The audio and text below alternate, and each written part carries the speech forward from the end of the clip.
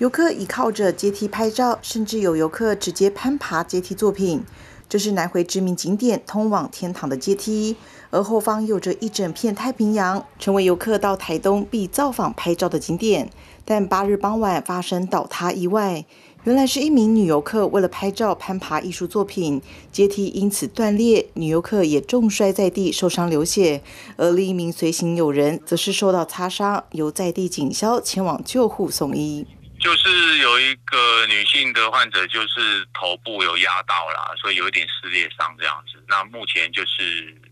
有出院了，就是意识清楚啦这样子。但是但是头头有一点撕裂伤这样。然后另外一名的话是左手是有一点可能可能压到，就是。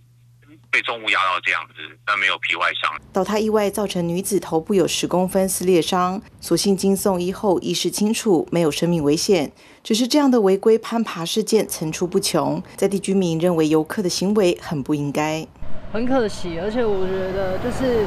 告示牌有说就是不要爬，然后还是一堆游客来就讲不听，对啊，一而三，一而再，再而三的，就是一直爬，然后到最后就倒了。我们当然希望说，民众来看这些作品的时候，呃，希望能够抱着快乐的心情。但是也有一些我们觉得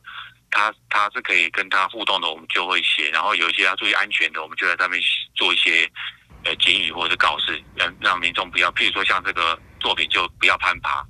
那我们也把他的那个告示放大了。那民众当然会，就是请民众在看这些作品的时候，能够先去看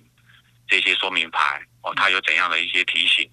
或者互动的方式，然后保障民众自己的那个安全，这样，然后也对作品有一个尊重。游客攀爬艺术作品已经不是第一次，这回真的因为不当行为造成天梯倒塌。政府表示会在实地了解天梯断裂的详细原因，确认是否为长期受压导致结构损坏，还是其他人为因素造成，并呼吁民众参观时要爱惜艺术家们的创作心血，遵守告示规定，把美丽的作品与风景留给自己，也留给更多人。记者王杰大武祥报道。